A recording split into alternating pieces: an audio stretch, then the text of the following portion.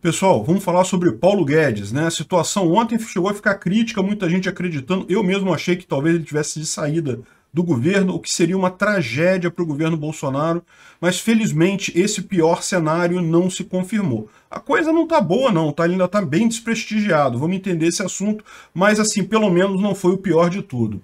Essa notícia foi sugerida por um monte de gente, eu vou falar só alguns nomes aqui, Bolsonaro é mais ANCAP que eu, servidor público libertário, Marteu de Oliveira, Gardenal do Joe Biden, delegado da Cunha, Peter, ministro do STF do ANCAPistão, ANCAP Tupi, Kevin Araújo, impressora do Paulo Guedes e por aí vai. Obrigado ao pessoal que sugeriu a notícia, obrigado a quem está assistindo o nosso vídeo, se você gosta do nosso conteúdo, por favor, deixe o seu like, se inscreva aqui no canal, né? Pois bem, olha que coisa, né? É, eu falei ontem, eu fiz um vídeo ontem falando que Paulo Guedes estava muito desprestigiado. Vários assessores dele pediram demissão direta, né? A maior parte da equipe dele, na verdade, pediu demissão. É, parece que dois ele reverteu, no final saíram só duas pessoas da equipe dele. Ele conseguiu convencer, todos pediram demissão, os quatro pediram demissão, mas ele conseguiu convencer dois a continuar, só dois que vão sair mesmo.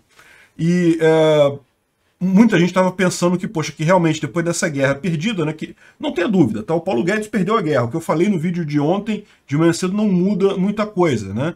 Tá na cara que o Centrão ganhou essa parada. Agora, o, o pior de tudo seria Paulo Guedes sair, como eu falei. Do jeito que ele está lá desprestigiado, ou seja, para ele pedir para sair era um pulo, né? Ou ele está esperando o Bolsonaro mandar ele embora, achar um substituto, alguma coisa desse tipo. Chegou a circular algumas coisas assim, é, é, no Globo, coisa e tal, interlocutores de Bolsonaro sondam nomes para o lugar do Paulo Guedes, é, vai ou fica, Paulo Guedes teria pedido demissão, segundo o blog, Guedes pediu demissão, mas Bolsonaro tenta convencê-lo a ficar no governo, e é, ministro de Bolsonaro diz que ninguém mais aguenta o Paulo Guedes, caramba. Enfim, mas esse tipo de coisa aqui tem que levar em conta o seguinte, né? Isso daqui é tudo jornal da grande mídia, tudo pessoal que é anti-Bolsonaro. Então todos eles estão loucos para o Paulo Guedes sair, né? Eu sei que tem gente também, ANCAP também, que não gosta do Paulo Guedes, mesmo no pessoal que apoia Bolsonaro, tem gente que não gosta do Paulo Guedes, mas eu vou falar um negócio para vocês. É porque vocês não pararam para pensar nas é, nas implicações políticas e econômicas de tirar o Paulo Guedes agora. O Paulo Guedes é um cara que é a, a, base econômica do governo Bolsonaro. Bem ou mal, o mercado confia nele. Não tem nome melhor que o Paulo Guedes no governo Bolsonaro. Ah, o Paulo Guedes está fazendo um monte de coisa ruim? Tá, tem um monte de coisa que ele fez que eu não concordo. Como eu falei para vocês, o que eu mais critico no Bolsonaro, o que é curioso, porque no início, eu cheguei a votar no Bolsonaro justamente na esperança do Paulo Guedes botar uma agenda liberal, privatizar e coisa e tal. E, na verdade, essa foi a grande decepção do governo. Fez o menos fez muito menos do que eu esperava que conseguisse fazer. A grande surpresa positiva do governo Bolsonaro foi justamente a atuação no caso das liberdades sociais, no caso da pandemia. Então, assim, é, é, é curioso, de onde eu não esperava nada, veio uma posição muito boa, Bolsonaro tomou todas as decisões certas na pandemia, e de onde eu esperava alguma coisa que veio o menos possível, mas não tenham ilusões, veio o menos possível porque é o que permitia a realidade. Outra pessoa faria pior ainda do que o Paulo Guedes e sem a credibilidade dele, né? Então, no final das contas, o mercado estava achando que o Paulo Guedes ia sair do governo e por isso a Bolsa chegou a despencar quatro pontos, menos quatro pontos, Paulo Guedes, então, fez uma entrevista com o Bolsonaro. O Bolsonaro falou que não, que ele fica, que ele está prestigiado, que não vai mudar nada. Ele minimizou as demissões, falou que não tem problema gastar um pouco mais e coisa e tal. Olha, no final das contas, é aquele negócio, né? O que está havendo ali, eu já falei para vocês, é aquela disputa. A ala política do governo que quer focar na reeleição do Bolsonaro quer um Bolsa Família ou quer um auxílio emergencial é, maior, né? Como eu falei para vocês, o que, que acontece no Bolsa Família? O Bolsa Família hoje em dia está na faixa de 190 reais por mês por pessoa. É, ele, a proposta do Auxílio Brasil, que é essa nova, esse novo Bolsa Família, né, não, não adianta, não, não tem problema mudar de nome, esse tipo de coisa todo presidente fez isso, isso não faz diferença. Então vai mudar de nome, vai, mas tem algumas mudanças também na fórmula de cálculo lá, né? Mas a ideia era aumentar 20% no, no valor do Bolsa Família. É, isso daí eu acho que não, não tem como fugir, ou seja, já está meio que é, é, é, faz parte do processo mesmo. O Bolsa Família está congelado já há algum tempo, né, o valor dele. E uh, a ideia só do Bolsonaro, porém, é para ajudar na pandemia, eles dariam um auxílio emergencial também para as pessoas que recebem Bolsa Família de 400 reais até o final do ano que vem. Essa, essa era, a, era a proposta. Né? O que a gente sabia que havia é que é, o Paulo Guedes tinha pedido, tinha chegado no valor de 300 reais, era quanto a economia poderia dar é, seria 300 reais. A equipe política achou pouco, brigou e coisa e tal, e bateram o martelo em 400 reais. Mas, na verdade, o que a gente está sabendo agora é que a equipe política queria 600 reais.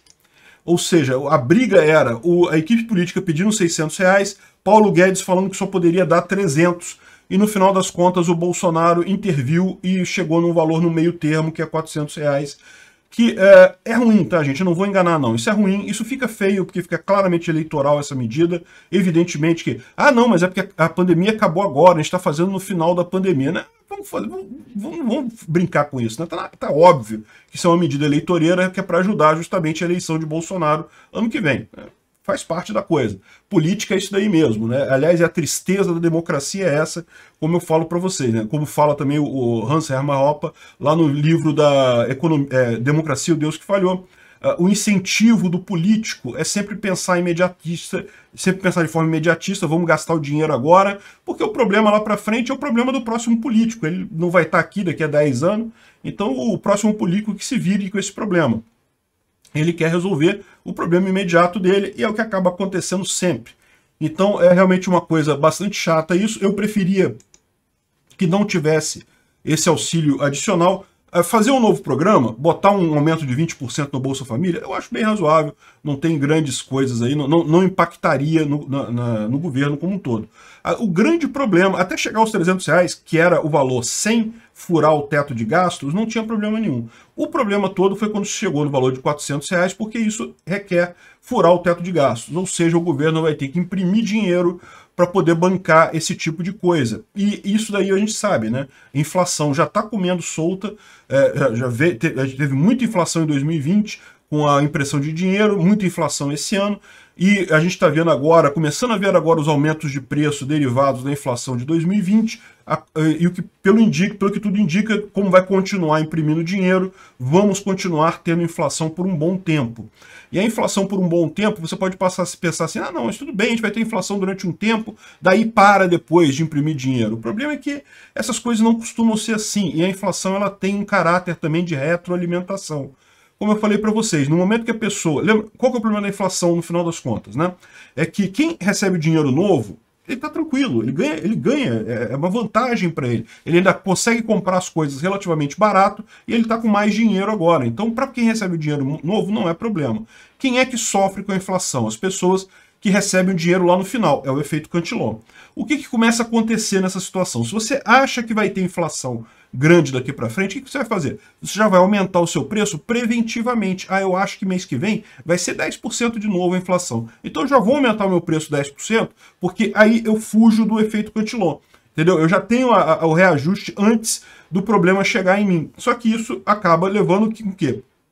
O governo acabe tendo que aumentar ainda mais a emissão de dinheiro para fazer frente, porque os preços já estão subindo organicamente. E pior, para depois você convencer as pessoas a baixar o preço é muito pior. Porque como a pessoa já, já criou aquele método, olha só, é, mês que vem vai ter inflação, então eu já vou aumentar o meu preço agora. E aí, lógico que tem inflação, porque todo mundo pensou isso, todo mundo já aumentou o preço. Aí, para você voltar isso para estaca zero, é muito complicado. Por isso que é, inflação de poucos meses, inflação alta durante poucos meses não é problema. Agora, esse, essa ideia do, do, Bolsonaro, da equipe do governo, de manter, ah não, mas tem que ajudar os pobres, não sei o que lá e coisa e tal, a gente sabe que isso é coisa eleitoral, é para ganhar a eleição no final das contas. Mas essa ideia deles de não manter a inflação por mais um tempo, isso pode ser desastroso, isso pode realmente piorar muito o ambiente econômico no Brasil, né? E o que a gente viu é que, na verdade, o mercado uh, até uh, encarou bem isso daí, é, é, havia uma, houve uma queda muito grande no início porque o pessoal acreditava que o Paulo Guedes iria sair do governo. E se o Paulo Guedes sair do governo, é o que eu falei para vocês, realmente é uma coisa que vai, é, é, um tiro no pé do governo Bolsonaro ano que vem. É o que eu falei, o que vai definir a eleição ano que vem não vai ser Bolsa Família, Auxílio Brasil ou o que quer que seja, vai ser economia. Se a economia estiver recuperada, se a inflação tiver é, não precisa estar tá zero, mas precisa estar tá ali contida ali num valor razoável, não está explodindo como está nesse momento, a coisa está tranquila. O mercado digeriu mal a saída do Paulo Guedes. Se o Paulo Guedes sair, a coisa vai desandar no governo, pode ter certeza. E a minha preocupação ainda é essa, né? Porque o Paulo Guedes ficou. Mas ficou em que sentido? Porque se ele ficou sem poder nenhum, tendo que só fazer, só assinar o cheque do Centrão lá, pô, não adianta nada, né? Agora, eu fiquei um pouco mais tranquilo com essa é, informação do Paulo Guedes, que na verdade, se você pegar a negociação aí, o, o, o, Bolsonaro botou um valor mais próximo do valor do Paulo Guedes do que do valor do Centrão. Vamos ver como é que fica isso daí, se isso sai em 400 mesmo, porque agora eu tô com medo, né? Porque uh, você sabe que esse pessoal do Centrão não é brincadeira.